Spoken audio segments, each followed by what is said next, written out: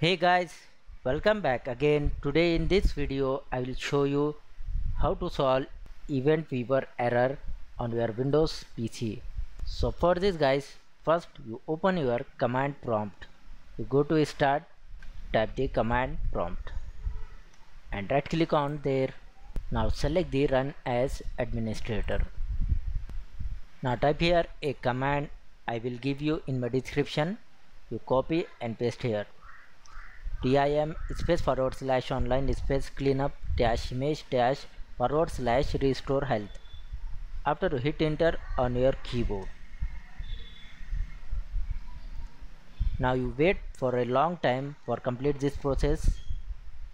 And after the complete you need to type one more command. Type here sfc space forward slash scan now.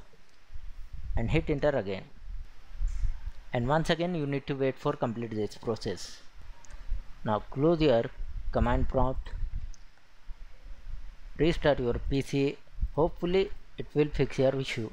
Thanks for watching. Please like share and subscribe to my channel